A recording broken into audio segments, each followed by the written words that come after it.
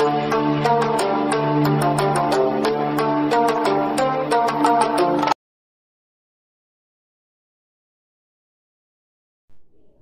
আলাইকুম আহমতুল্লাহ আবরকাত আমি আল মাসুদ তানজিন কুকিং রেসিপি দেখার জন্য আপনাদের আমন্ত্রণ।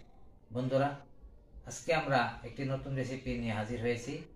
আমাদের আজকের রেসিপি সয়াবিন এবং বাঁধাকপি দিয়ে উল ব্রেড তৈরি করব। উল ব্রেড তৈরি করার জন্য প্রথমে আমরা খামির বানাবো। আসুন, আমরা দেখে নিই। এখানে আমি একটি মিক্সিং বল নিয়েছি। মিক্সিং বলের ভিতরে আমি মেজারমেন্ট কাপে দুই কাপ ময়দা নিয়েছি। আপনার ইচ্ছা করলে আটা দিয়েও করতে পারেন। তবে ময়দা দিয়ে পাউরুটির টেস্ট বেশি হয়। এখানে আমি তিন চামিচ চিনি নিয়েছি, হাফ চামিচ লবণ এবং হাফ চামিচ বেকিং পাউডার আর দুই কাপ ময়দার জন্য এক চামিচ ইস্ট এই শুকনো উপকরণগুলি আমি ভালোভাবে মিশিয়ে নিব। এবং আমি এখানে তিন চামিচ রান্নার রেগুলার তেল দিয়ে দিয়েছি।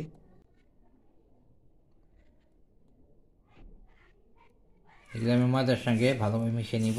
সবগুলি উপকরণ ভালোভাবে মিশে গেছে। আমি এখন এখানে এক কাপ দুধ নিয়েছি। আমি আস্তে আস্তে এই দুধটা দিয়ে পুরা ডোটা তৈরি করে নিব। আপনার ইচ্ছা করলে পানি দিয়েও করতে পারেন, তবে দুধ দিয়ে করলে টেস্টি হয়।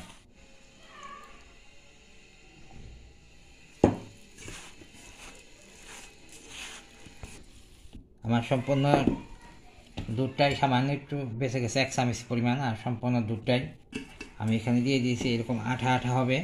কারণ পাউরুটির ডো খুব নরম এবং খুব ভালোভাবে এটাকে মথে নিতে হবে। বন্ধুরা, এই পর্যায়ে আমি হাতে একটু হাতটা ধুয়ে নিয়েছি। হাতে আমি একটু তেল মেখে তারপর এটাকে আমি ভালো করে মথবো। আমার একদম একদম পারফেক্ট ডো হয়ে গেছে। আমি এই ডোটার উপরে একটু তেল মালিশ করে এটা দুই ঘণ্টা আমি রেস্টে রেখে দেব। দুই ঘণ্টা পর আমরা এটা আবার এটা দিয়ে আমরা বেড বানাবো। আমি এভাবে এটা ঢেকে দুই ঘণ্টার জন্য রেখে দিব। এখন আমি সয়াবিন আছে, এই সয়াবিন এবং বাঁধাকপি কুচি নিয়ে আমি এই ভিতরের পোলটা বানাতে চলে পাউরুটির ভিতরের পোলের জন্যে সয়াবিন এবং এক মুঠ পরিমাণ বাঁধাকপি সিদ্ধ করে নিলাম। এটা ওয়াশ করে কিমা করে নিব? বন্ধুরা, আমরা এখন পাউরুটির ভিতরে যে পোলটা দিব সেই পোল তৈরি করার জন্য আসলাম। আমি এখন রান্নার তেল দিয়ে দিতেছি। এখানে আমি পেঁয়াজ কুচি কুচি করে নিয়েছি এবং একটা পেঁয়াজের পাতা আমি কুচি কুচি করে কেটেছি। দুই তিনটা কাঁচামরিচ, সয়াবিন কিমা করে নিয়েছি এবং বাঁধাকপি আমি সিদ্ধ করে নিয়েছি। এখন আমি পেঁয়াজ দিয়ে দিব, পেঁয়াজ এবং কাঁচামরিচ কুচি।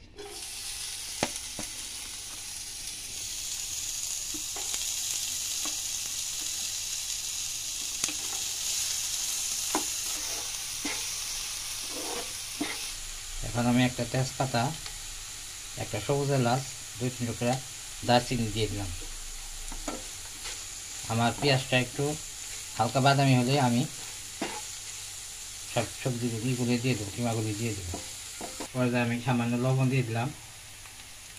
এরপরে আমি দু এক, তিন চারটা কাজু বাদাম দিলাম এবং কিছু কিশমিশ দিয়ে দিলাম। এটা আরও দ্বিগুণ করে দেবে? এখন আমি এক চামিচ আদা রসুন পেস্ট আমি কিমাগুলি দিয়ে দিব এখানে আমি গোলমরিচ গুঁড়ো করে রেখেছি। কোয়াটার চামিচ, হলুদ, কোয়াটার চামিচ, মরিচ, সামান্য জিরা, হাফ চামিচ চাট মশলা, হাফ চামিচ ধইনা এবং হাফ চামিচ কাবাব মশলা আমার ঘরে তৈরি করা। এগুলো আমি দিয়ে দিব।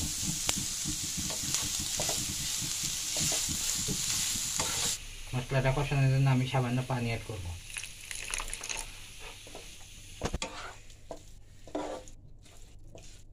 পর্যায়ে আমি হাফ চামিচ ভিনেগার দিয়ে দিব।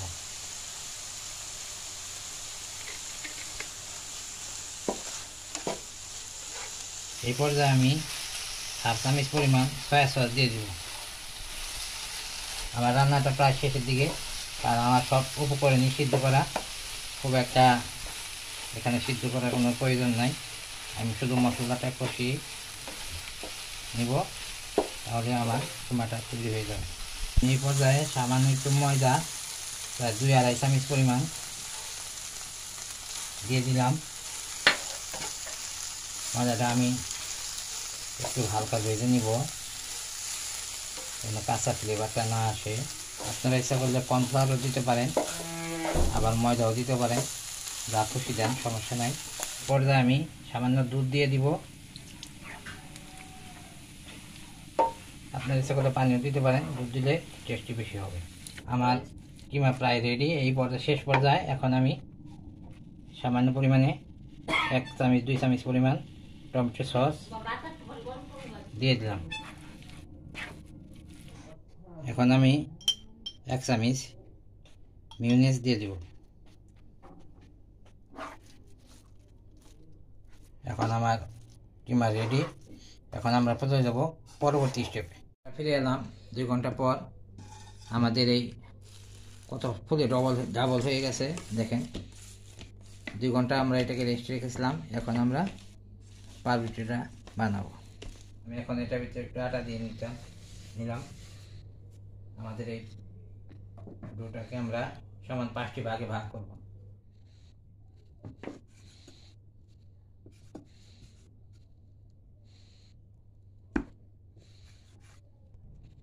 এখন আমরা পাউরুটি বানানোর জন্যে একটি ডো নিয়ে লম্বা সাইজের একটি রুটি বানিয়ে নিব।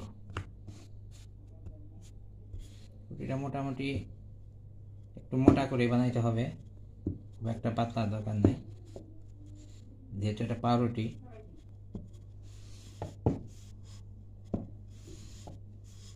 এখন আমরা রুটিটা এইভাবে বেলে নিয়েছি। অর্ধেক পরিমাণ আমরা এইভাবে চিকন করে কেটে নিব। যত চিকন করা করে কেটে কাটা যাবে, তত তত পাউরুটিটা সুন্দর দেখাবে।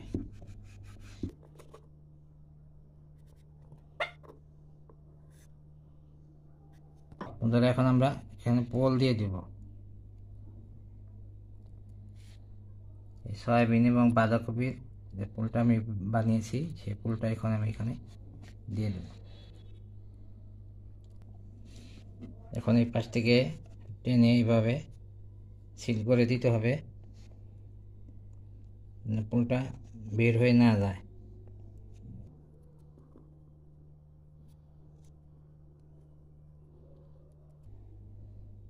এভাবে আঙ্গুল দিয়ে চিপে চিপে।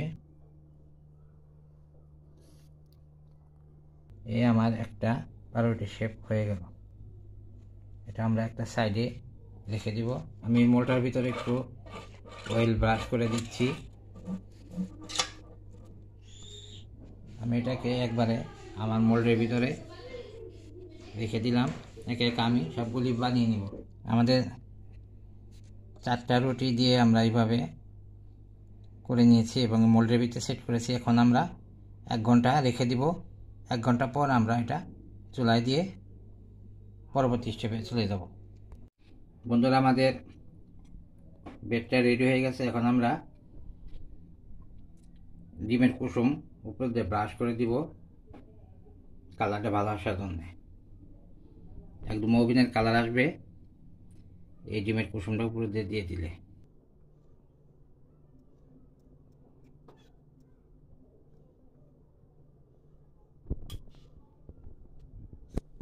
ব্রাশ করে নিয়েছি। এখন আমি এই চুলায় হাঁড়ি গরম করে নিয়েছি তার দশ মিনিট আগে। ভিতরে একটা স্ট্যান্ড দিয়েছি। এখন আমি এটা বসিয়ে দিব।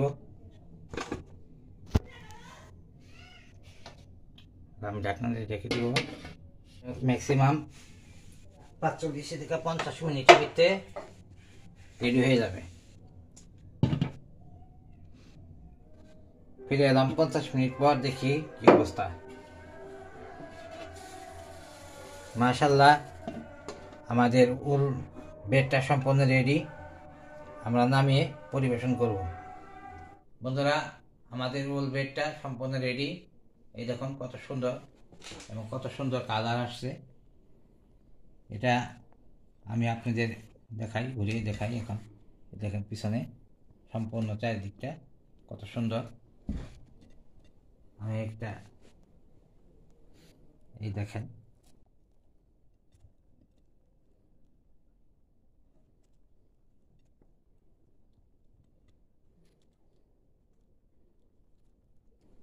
ভিতরে পোলটা। এই দেখেন কত সুন্দর।